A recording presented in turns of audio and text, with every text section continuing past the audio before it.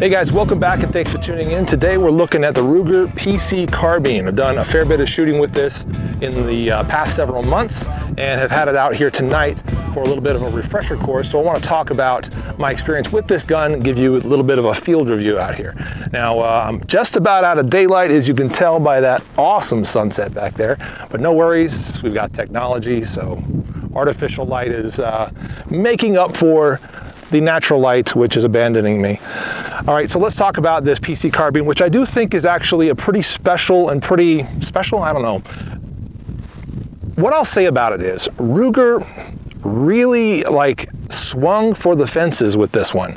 As far as the quality that went into it, some of the features that I don't see on a lot of other pistol caliber carbines, um, and basically just this, this whole package and the potential that's wrapped up in this whole package. Um, like I said, I think Ruger really swung for the fences. Did they knock it out of the park? Mm, that's another question, and we'll try to address that um, as we review this gun. Let's talk about some of the features on it, and I'll get to some of the, you know, some of the stuff that everybody else has talked about already in a little while, but right now let's get to some of the specs and some of the reasons that I think that they did in fact swing for the fences with this guy. One of the key things is this right here, the barrel, which is fluted, as you can tell there, and look at that. That is very nice looking fluting. Got a nice matte co uh, coating on it, and it's got the uh, little peep aperture, rear aperture, and then the sort of guarded front post sight, non-glare post sight.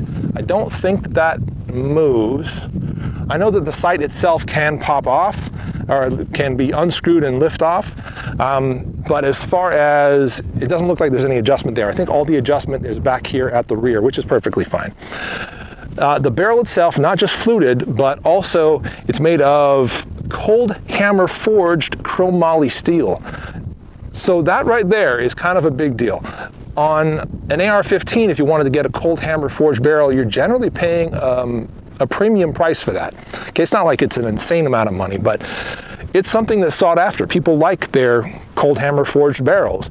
To have something like that on a pistol caliber carbine um, tells me that they didn't want to just create a fun gun. Okay, they wanted to make something that is really durable, it's going to last a lifetime, be able to pass down, you know, to future generations and so forth once again, kind of evidence that Ruger has swung for the fences with this guy. Again, I mentioned the fluting. It's a 1 in 10 twist on about a 16 inch barrel. It is threaded up there to allow for some kind of a flash hider, suppressor, whatever you got. Um, my um, Amtac Hornet in 9mm, which is an over barrel suppressor, will not go over this. I actually checked the diameter of this barrel versus the inside diameter of that over barrel section. It won't go over it. So even if I did remove the sight, I wouldn't be able to put an over barrel suppressor on this, or at least not the Amtac Hornet. Maybe there are others that'll work fine. Uh, pretty much any other 9mm suppressor obviously will work. A couple other details about it. I did do a velocity test with this gun uh, tonight to get a sense of how that 16 inch barrel worked for 124 grain load. So I shot the exact same load through both my Glock 19 and through this gun to get a pretty good fair apples to apples comparison. 97, 81. Ruger PC carbine 1233, 1257, 1233, 1230. So you're getting a good velocity jump. It's not like 357 level, but it's pretty good.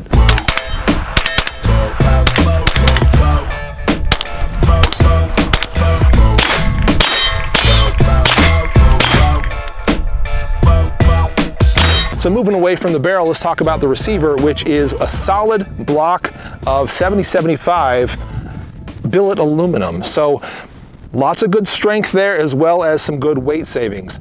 The bolt, chromoly, and they've done something pretty interesting with the bolt to um, shorten the travel as well as sort of reduce some of the felt recoil.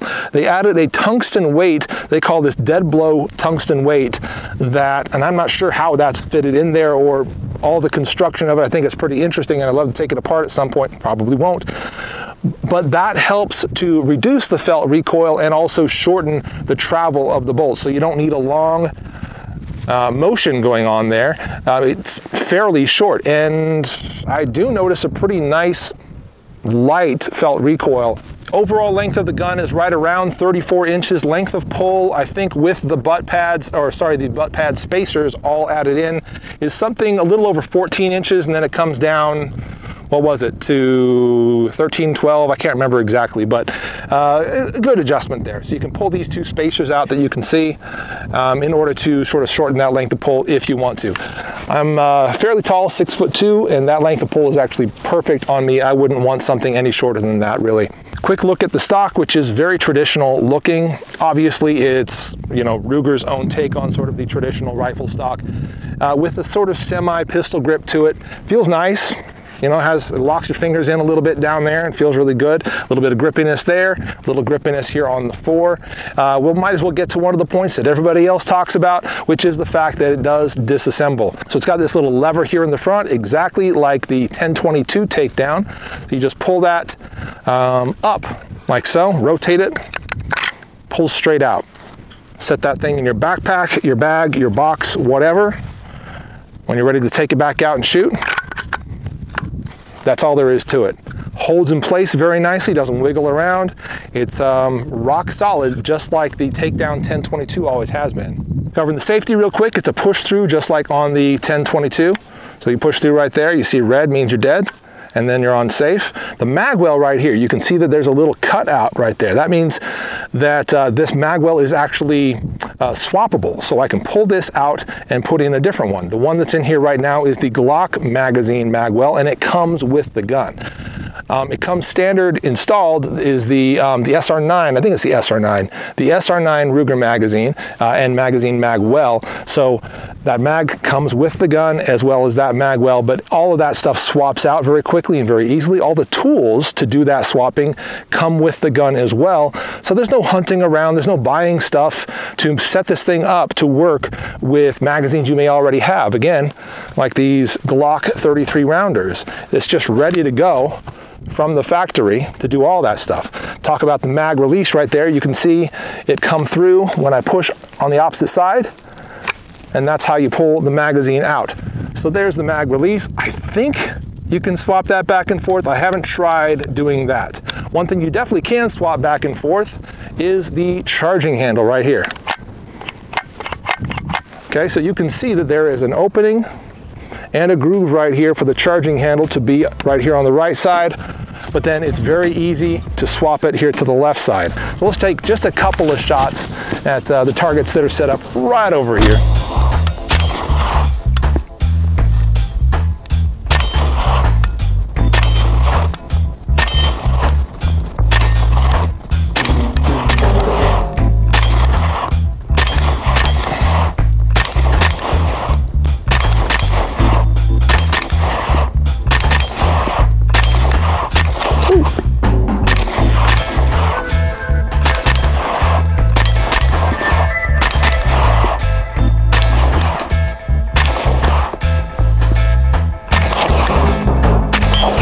Is. You can feel that bolt lock back when it's done as well. Speaking of the um, locking back bolts, and we'll go ahead and eject that mag. And again, one thing I love about the position of that mag release is that if you're gonna go to grab that magazine, your thumb is right where that mag release is. So you slap the mag, thumb hits it, pulls right out, very well thought out design there, very well engineered. So again, talking about the bolt and how that locks back, it's real similar to the 1022 where we have this little latch lever right there that allows us to um, lock it back. So we just rock our fingers forward like this, pull it back, push that in, let go of the bolt, let go of the latch pretty much just like the 1022. So if you're familiar with the Ruger 1022, which if you're a gun person, you probably are, um, you're gonna adapt to this Ruger PC carbine very, very quickly. So having just shot it, let's go ahead and talk about the trigger pull on that. How does it feel and how heavy is it? So we're on fire and we're charged. I happen to have my trigger puller right here, my little Wheeler trigger pull. So let's go ahead and see what that weight is. Start with one, and that came in at four pounds. Nice, not bad. One more time. Yeah, just under four pounds that time. Do one more just to get an average. And just a hair over four pounds. So pulls right around four pounds, which in my opinion is perfect. Trigger is crisp. Little bit of a longish reset. Not really, but it could definitely be shorter. So if there's one thing I would like to see improved about it, shorten up that reset. A couple last details on it. You can see that there is a sling attachment point here at the rear as well as one there at the front. We also have a small section of Picatinny rail right there at the front. Now, in order to use this, what would you use it for? Probably a bipod. I would like to say you could put a light there, but most of the lights I've tried to fit there need to drop down a fair bit to kind of defeat this little uh, sling point right here. So I would like to maybe have that sling point move back an inch, half an inch even. Um, I think that would definitely be an improvement. I don't know if it would change things ergonomically as far as how the gun is used, but if you want that rail to be very, very useful, this does need to come back just a little tiny bit. This gun, in my opinion, and I'm not an engineer, I don't know for sure, but in my opinion, this is the starting point for probably a large series of PC carbines. Um, hopefully we'll see one in 45. I would love to see a 45 version of the PC carbine. I think a ton of you guys would like to see that as well. You know, we probably see it in other colors, some camo colors and stuff like that in the future. Does this have real like hunting applications? I think that this could be a decent critter getter, you know, a little uh, bunny shooter or something like that. Yeah, I mean, it's pretty accurate. By the way, I haven't talked about accuracy at all yet. This gun compared to, um, let's see, I think the last one I tested was the uh, FX9 carbine from Freedom Ordnance. That one, I'll show you sort of what that, that group looked like uh, at 25 yards. It's a little pockmarked, a little spread out. This guy is extremely tight, and I don't have that with me right now, but I'll show you a little insert footage on it. That 25 yard group, again, with the red dot and from a bench rest, was very, very tight from 25 yards. Okay, and that was not letting the gun cool down. 33, 34 round string, just kept going. As far as accuracy is concerned, Ruger took their time with this one, really considered and thought about accuracy, and I think they achieved some pretty exceptional accuracy with this gun. Once again, the 25 yard groups I did were unmagnified, so if I had set a magnified optic on top of this gun, probably would have seen an even tighter group than the one I got. Um, considering what I had, an unmagnified red dot, pretty dang good group.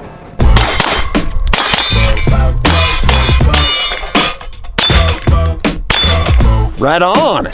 Right on. Yeah, that's not a bad kick. Now, one last thing. Did Ruger actually succeed in knocking it out of the park with this gun? That's the real question, right? They swung for the fences, but did they knock it out of the park? I've seen, I think, three failures tonight, just tonight, shooting the same stuff, 124 grain Freedom munitions. Could be the ammo. I've also shot uh, let's see, some SIG jacketed hollow point, some Hornady critical duty. We shot some Blazer aluminum. We shot some Freedom Munitions um, frangibles, some Hush ammo from Freedom Munitions, as well as their match stuff. All of that fed just fine, but we have seen three failures on their 124 grain new manufacturer uh, 9 millimeter. It is what it is. I think one of those was on a um, an ETS magazine. The other two, I believe, were both on Glock magazines. So we could say it's the ammo. I don't know yet, though. Probably need a lot more data to be sure. But um, what we can do is put two more magazines of 124 grain through Glock magazines, and we've got 33 rounds in each. Might as well blow through a little bit of this, see how it does.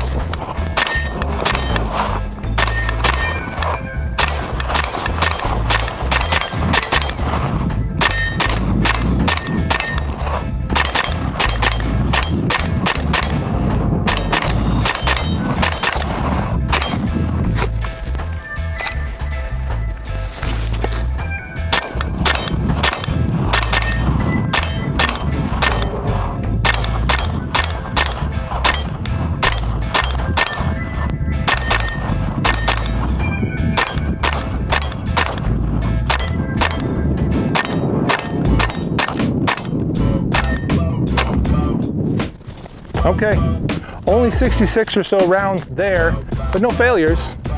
So I would love to chalk those three failures up to ammo, and I probably can, but I have to point them out. Um, shot mostly great, mostly great. Couple failures tonight, and I think I did see one or two failures uh, the first time I took it out as well. So, gotta mention those. Short of that and shy of that, it's a really good gun. It is. It's a really good gun.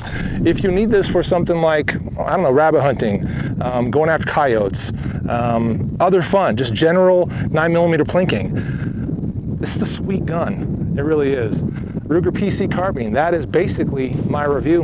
I'm the Late Boy Scout. Thanks for watching. See you later.